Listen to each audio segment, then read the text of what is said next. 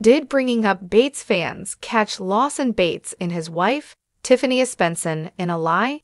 His recent social media activity is sending lots of hate his way after fans discovered that he was dishonest. What did the former UP star lie to fans about? Keep reading for all of the details and see how fans reacted to. Lawson Bates and Tiffany Espensen share another glimpse into their lives. In the past, Lawson and Tiffany have been called out for creating clickbait titles for their YouTube videos. Fans feel that they often try to mislead their viewers to get attention.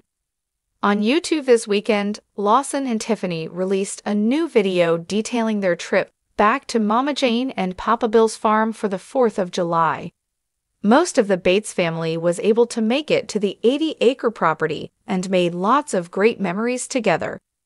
However, fans noticed that Lawson's title and details weren't totally honest once again. Bringing up Bates fans catch Lawson Bates in a lie. Lawson titled the new video, Back with My Entire Family, 19 Siblings. In the description of his YouTube video, he said, The entire Bates family is back together for one big epic adventure. While most of the Bates family made the trip to the farm, not everyone was able to be there. However, his description and title seem to imply that the whole family was there. On Reddit, fans are discussing who was there and who wasn't, while calling Lawson out for his misleading title. One fan said, he titles it as the entire 19 siblings and says the same on Instagram, but we know that Zach, Michael, and Erin weren't there. On Instagram, when the family was at the farm, it became clear who was missing from the gathering. Zach and Whitney Bates stayed home due to her being very pregnant. Based on the title of his video, it looks like Lawson was not honest with his viewers about who was at the gathering.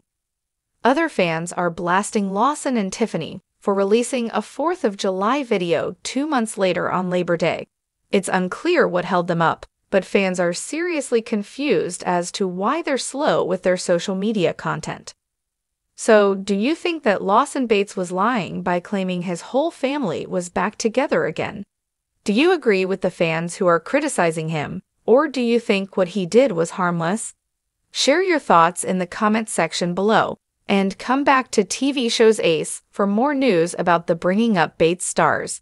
You can watch the video that caught fans' attention.